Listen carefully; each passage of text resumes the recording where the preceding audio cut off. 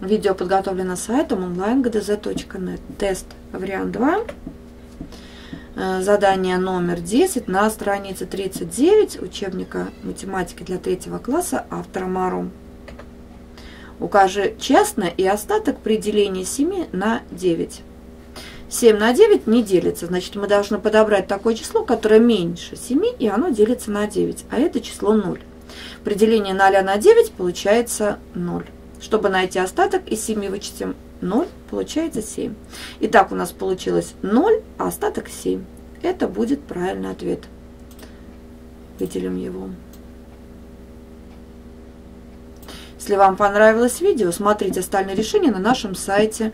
Если есть вопросы, предложения или пожелания, подписывайтесь на нашу группу в социальных сетях.